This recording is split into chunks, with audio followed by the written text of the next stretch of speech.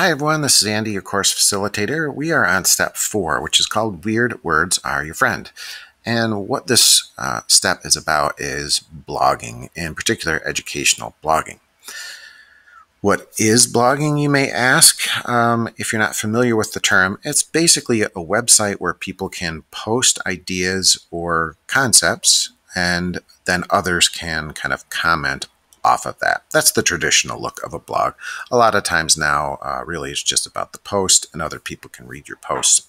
But the dynamic nature is really that other people can um, actually respond to what you're talking about. So that's the idea in this step. So to get maybe some inspiration about what blogs can be or should be or already are, if you click on this link, this is going to take you to a hyperdoc, which is just basically a list of uh, different blogs. And I've categorized each one of these by um, some different um, titles.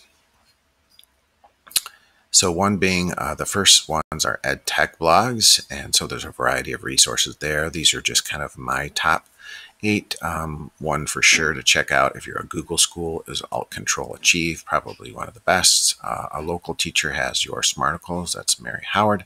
Um, and then again, there's a variety of different ones. Ditch That Textbook is a really popular one with teachers and uh, kind of tech savvy folks, uh, just to kind of rattle off a few. Uh, the next category is food for thought educational blogs, and there's a variety of good ones within here, but I would definitely recommend if there's one or two you're going to check out, um, Edutopia would be one. Uh, that's got some really timely uh, resources, but if you haven't seen Cult of Pedagogy from Jennifer Gonzalez, uh, it's a great website with tons of ideas, thought provoking concepts, as well as uh, podcast, and it's really well organized, timely. And Jennifer Gonzalez is an excellent writer and, uh, again, very thought provoking and well organized. So, if there's one blog you'll check out, if any, if there's any blog you'll check out, uh, feel free to look at this one. I think you won't be disappointed, and you'll probably find yourself spending a lot of time with it. And then the last uh, collection of blogs are kind of teacher or admin blogs. So for admins, if you haven't seen Kimberly Moritz's blog uh, from Springville Griffith, she has she's been blogging for years, and I think you'll kind of get the flavor of her leadership style as well as her thoughts and educational philosophy. It's a very well done uh, blog.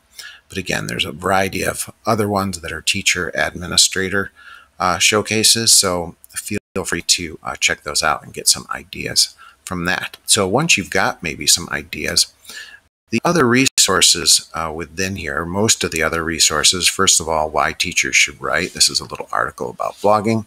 Uh, blogger.com is Google's platform for creating a blog. Again, you can do that for free. WordPress is another one.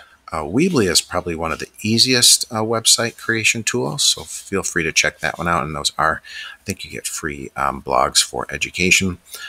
Um, and then uh, Wix is another one. Uh, this one's probably the most dynamic, but a little bit more of a learning curve. And then the final uh, kind of resources here I just added to this PS22 Chorus. I don't think is a, any longer an active blog, but it's a great uh, way to show how a blog can change the world. Uh, this music teacher started posting the videos of his rehearsals, and uh, pretty soon, um, movie stars and singing um, stars started uh, coming to the practices and singing with the with the students to their rehearsals. So really amazing. Um, this is my blog, Coffee with a Geek. Again, I don't, uh, I can't say it's earth shattering, but it's just um, it's a nice platform for me to kind of chat with other teachers. And I also just added this one.